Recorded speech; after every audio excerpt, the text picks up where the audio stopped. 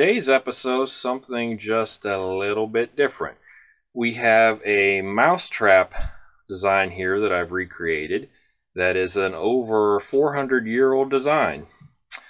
Uh, this particular one is what's sometimes considered to be what's called a guillotine design because it has origins in France. And indeed, it was used several hundred years ago throughout Europe, not just in France, uh, to help control the large rodent problem that they have.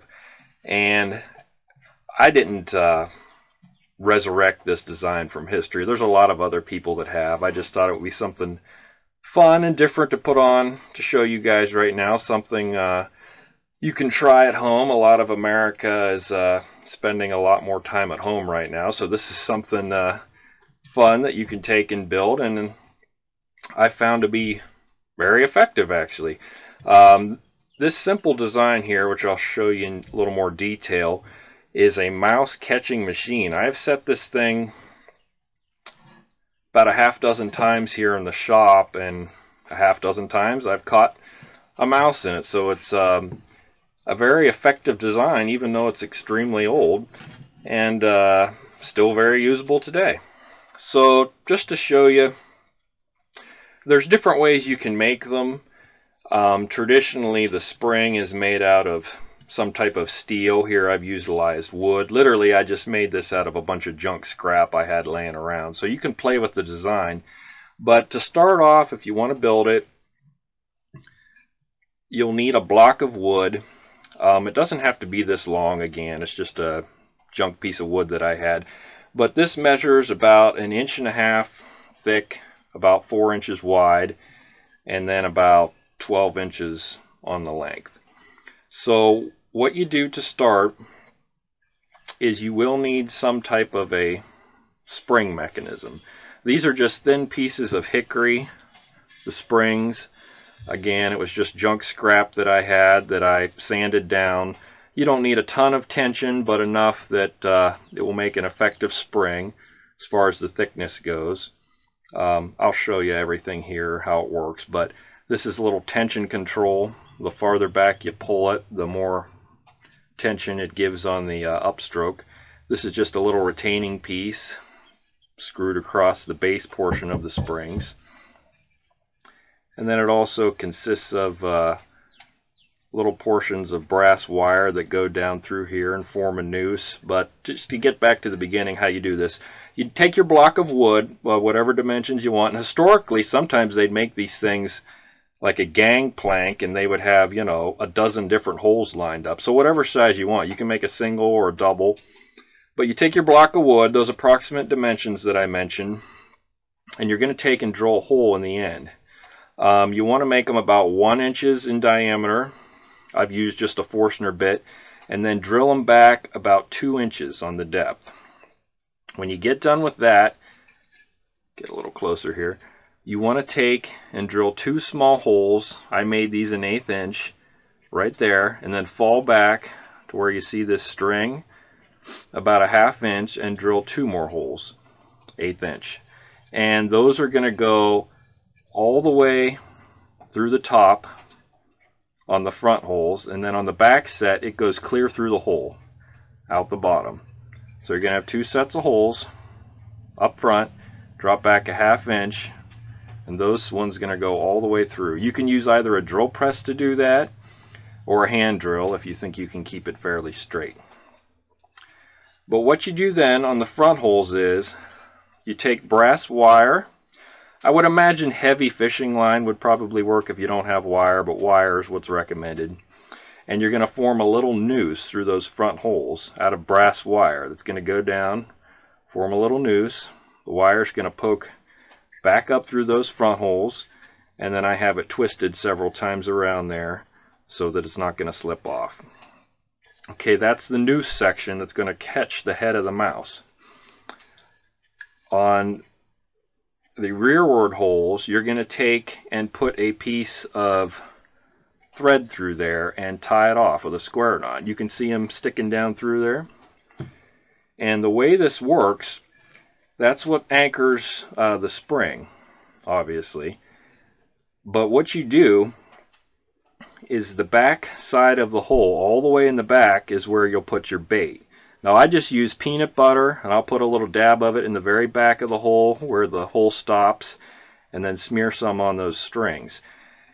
And the way it works is the mouse will go in here, he'll crawl up through there, he'll come to those strings, and because there's bait smeared on it, but especially because the, the main portion is in the back, he'll chew chew through those threads to get to that bait. And when he does that, whoosh, spring goes up, mouse is caught around the neck, and it's actually a very humane kill, if you will. It works very, very well, efficiently.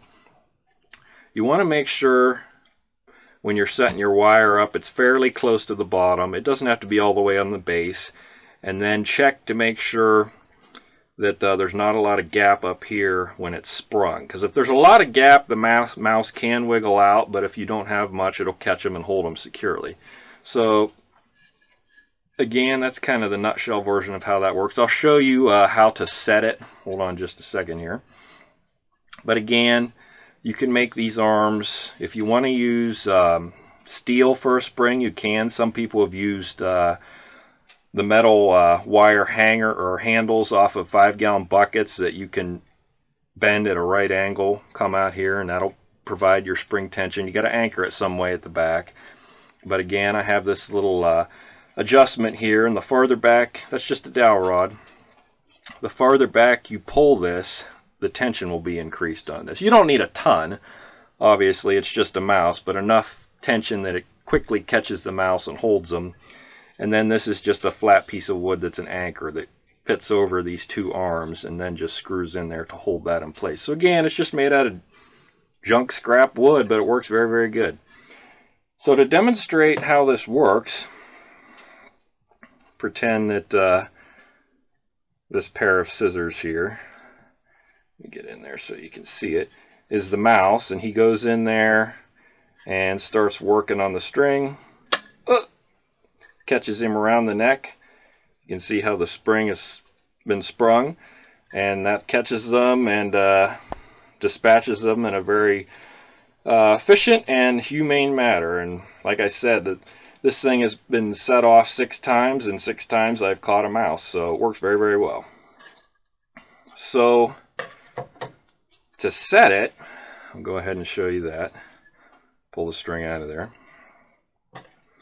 And the type of thread that you use to set this, you don't want something that's real super thick because you make it too thick, the mouse can have a hard time chewing through it. So fairly thin. This is just the linen thread that I use to sew like fabric.